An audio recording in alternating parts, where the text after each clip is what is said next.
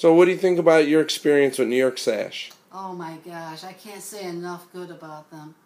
New York Sash has been outstanding in every way from the minute we walked into their showroom in Whitesboro and met all the people that work for them. It's just awesome. The, the, the, the service that you get and the, the personal uh, feeling that a customer feels so confident on their work and and Bob LaPiccolo, he was so wonderful. He met us at, at JK, helped us pick out the fixtures,